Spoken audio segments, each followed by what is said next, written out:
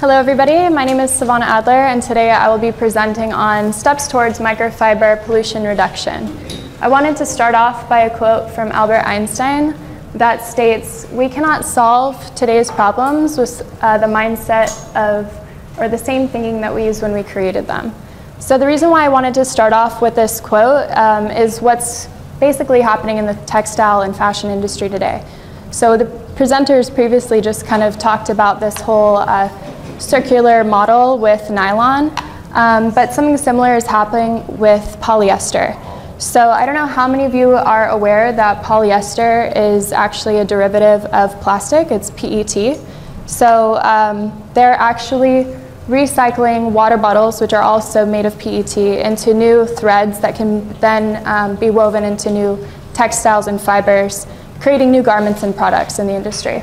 So this sounds like a really great idea, but it can actually promote the use of single-use plastics even more and can actually counter the sustainability movement in um, just the mindset that it can um, perpetuate.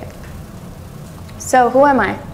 Um, I'm a conscious environmental fashion uh, designer and brand owner here locally in Hawaii, and I also produce events. So here on the left is uh, an image for the flyer that we used for our Ocean Awareness Festival that we launched at Salt and Kaka'ako last July.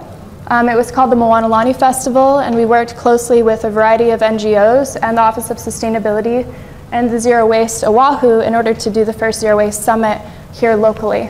Um, I was also, as a result, hired to produce Earth Day this year, so I hope to see you guys all there on April 23rd. So what is the problem? Where are microfibers coming from? Where are they ending up? And how is it affecting us? So as you can see right here, I have a washing machine. I'm sure all of you are familiar with washing machines and dryers. Uh, dryers have a lint rack, so that's microfiber pollution and lint that accumulates. But our washing machines don't have filters. So what's going on is uh, these microfibers are shedding from our clothing due to the friction that is caused by the laundering cycle. And um, they're ending up in our waterways and ending up into our oceans ultimately because the existing infrastructure of the water treatment centers are not designed to filter them out because synthetic fibers are a new invention. So that means the food that we're consuming, right, they're consuming these plastics, it's ultimately ending up in our bodies as well. Scientists have also discovered um, microfibers in the human gut, so this is an area of concern. The reason why microfibers are something to consider um, is because they act as a sponge for really harmful toxins that are linked to cancer, hormonal imbalances, and heart disease.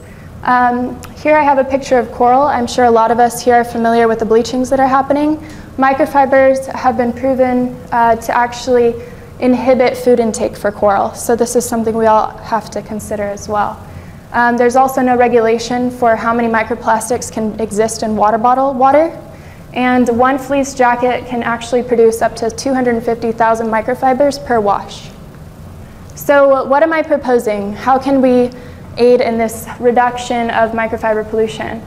Um, I'm proposing an awareness campaign that can be launched at our second Moanalani Festival this July and in conjunction with the Student Sustainability Coalition here on campus, which has a variety of different RIOs that are represented in sustainable efforts.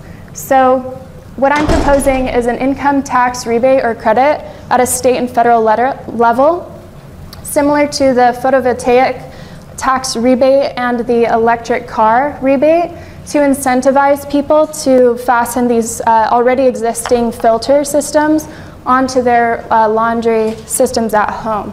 So um, the technology already exists, which is the big you know, part. It's $140. It's not you know, a massive expense. But if the state, because the infrastructure of our water treatment centers would be so expensive to kind of update, and if you consider this as a global issue, how many different water treatment centers there are that would need to be updated, we can actually put this um, technology into the hands of individuals to then take that next step into reducing microfiber pollution in their homes.